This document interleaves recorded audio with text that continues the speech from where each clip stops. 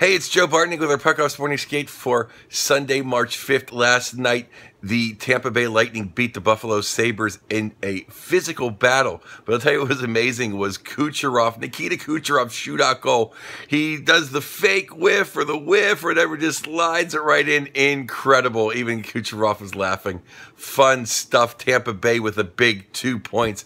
Also, a big two points to the Winnipeg Jets, who just avalanched the Avalanche. I mean, it's insane. I'll tell you, I mean, the Avalanche have just given up. You know who hasn't given up is the Dallas Stars. Yeah, they beat Florida last night. Jamie Benn, Seguin, Klingberg, all chip it in. They must be trying to save Lindy Ruff's job.